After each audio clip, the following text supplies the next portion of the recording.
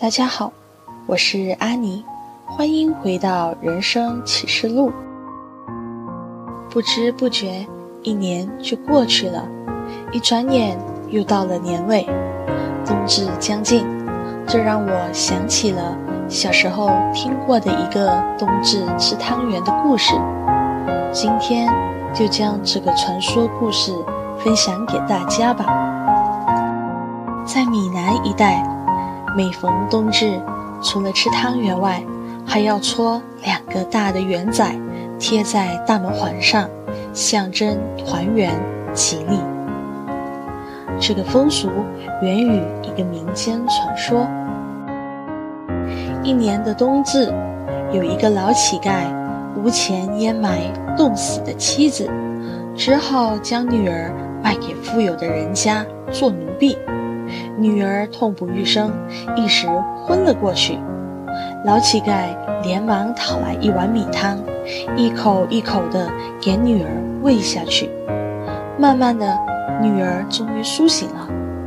老乞丐又为女儿讨来了几粒糯米圆，劝慰女儿说道：“我们今日分别，就像这圆仔分成两半，现在。”咱们一人吃一半，等将来日子好了，咱们团圆了，再吃圆仔。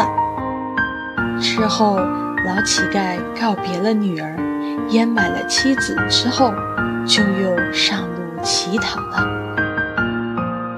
三年过去了，老乞丐依旧没有回来找女儿。女儿想念父亲，期盼父女俩。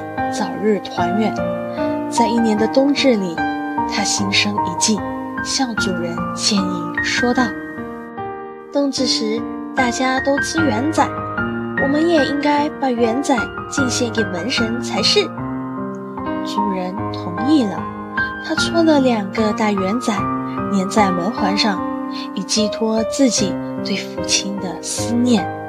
他的孝心感动了后人。